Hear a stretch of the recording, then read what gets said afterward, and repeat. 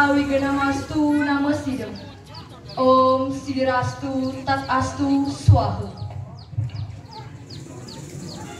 Jero pemangku yang telah disucikan. Yang saya hormati Bapak PHDI Kecamatan beserta jajarannya. Yang saya hormati Ibu PHDI beserta jajarannya. Yang saya hormati Perada dan Seket Runatuni Desa Toinasa beserta umat Sudarma yang berbahagia. Sebagai umat beragama Hindu, sudah sepatutnya kita memanjatkan puja dan puji syukur kehadapan Ide Sang Yang Widiwasa. Karena atas asum kerta waranugrahanya lah kita dapat berkumpul bersama dalam keadaan sehat dan selamat. Umat Sudarma yang berbahagia. Bangsa Indonesia adalah masyarakat beragam budaya dengan sifat kemajemukannya.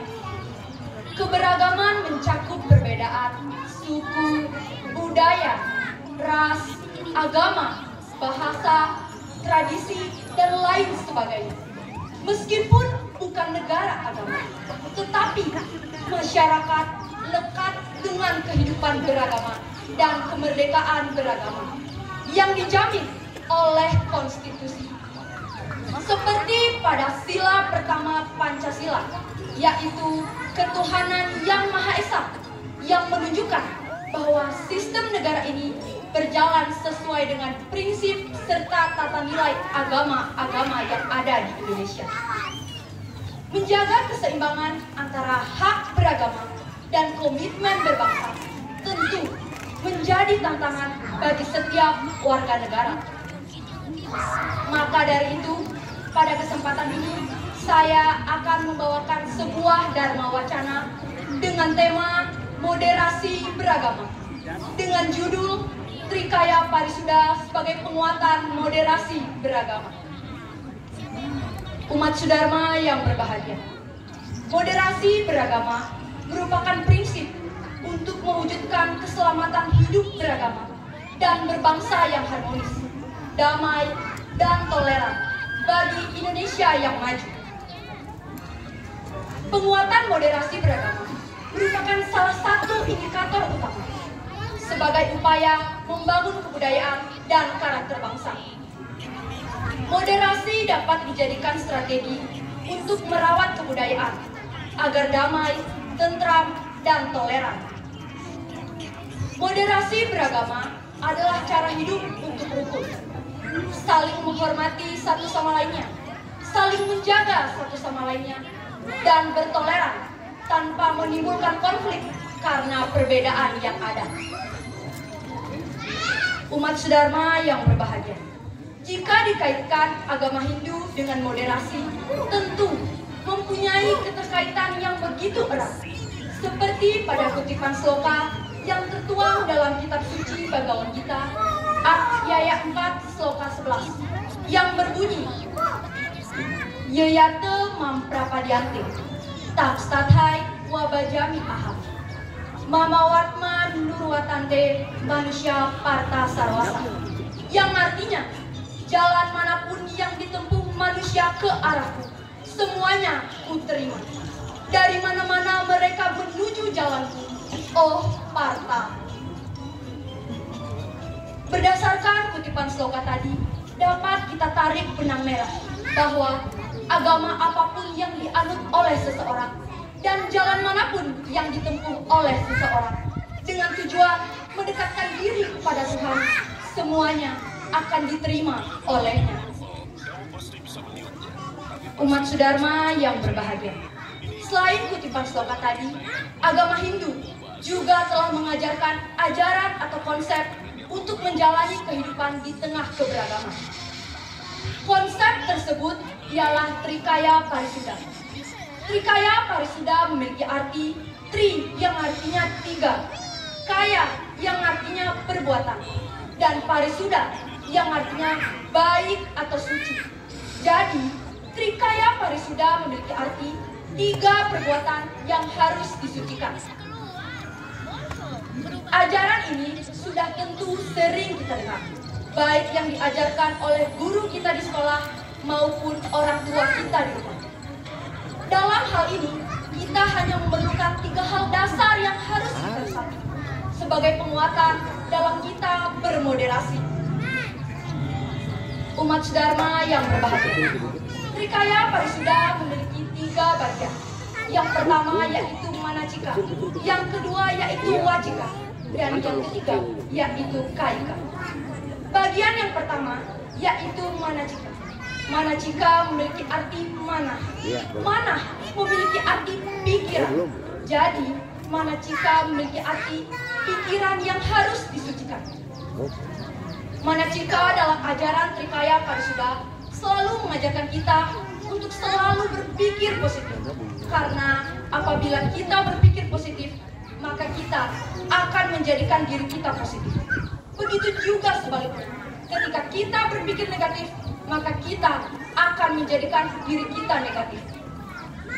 Jadi, berusahalah untuk selalu berpikir positif. Karena berpikir positif merupakan jalan terbaik untuk menyelesaikan suatu kondisi-kondisi permasalahan yang hadir dalam kehidupan kita ini. Sekali lagi, berusahalah untuk selalu berpikir positif dalam menyikapi perbedaan yang kita alami dalam kehidupan kita ini. Sehingga kehidupan bermoderasi dapat kita wujudkan. Umat Dharma yang berbahagia. Bagian kedua dari Trikaya Parisuda yaitu wacana. Wacika memiliki arti wacana. Wacana itu sendiri memiliki arti perkataan. Jadi, wacika memiliki arti perkataan yang harus disucikan. Sudah tentu dalam kehidupan kita sehari-hari kita tidak bisa selalu mengontrol ucapan kita, menjaga mulut kita agar terhindar dari permusuhan antar umat beragama. Tetapi sering terjadi bulian, hinaan, bahkan sering terjadi caci maki antar umat beragama. Namun apa yang kita dapatkan hanyalah permusuhan, perselisihan, perdebatan, bahkan berujung pembunuhan. Maka dari itu, hindarilah perkataan yang dapat memicu perpecah belahan antara umat beragama. Sebab luka goresan yang disebabkan oleh pisau lambat laun akan menghilang bekasnya. Tetapi luka yang disebabkan oleh perkataan akan membekas sampai kapan pun. Maka dari itu, kita harus memiliki kesadaran diri untuk melakukan filter dalam berkata. Karena perkataan merupakan suatu aspek mendasar yang perlu diupayakan. Umat Sudharma yang berbahagia. Bagian ketiga dari Trikaya Parisuda yaitu Kayika. Kayika memiliki arti perbuatan yang harus disucikan.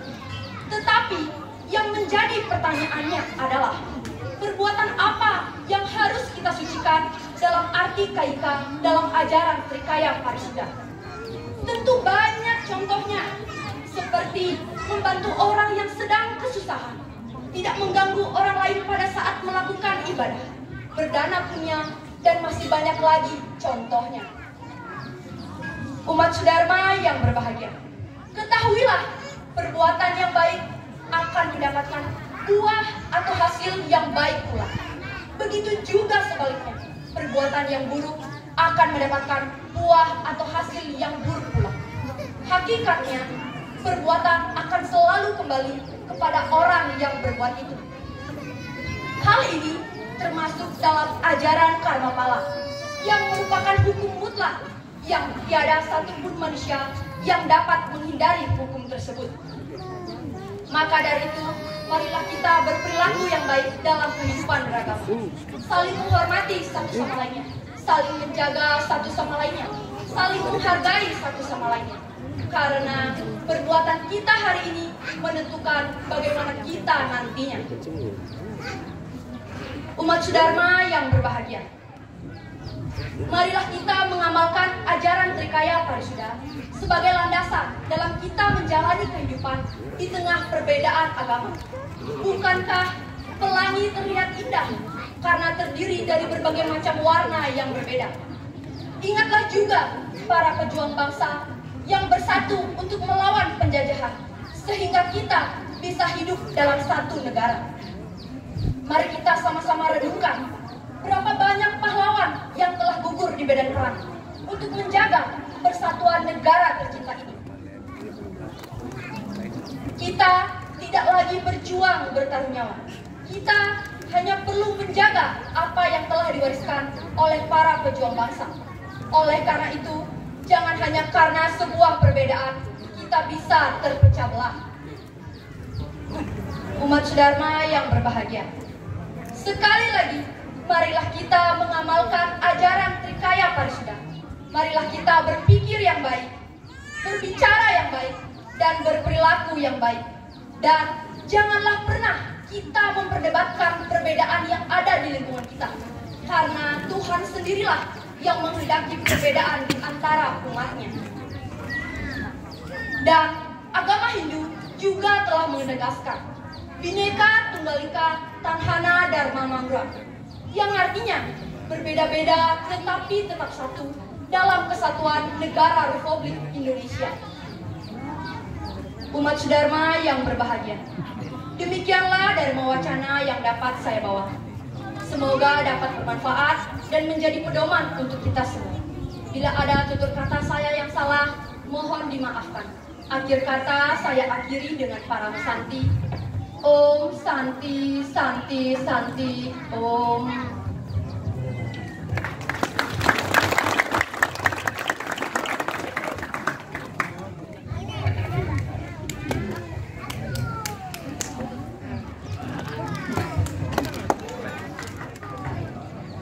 Mari kita aplaus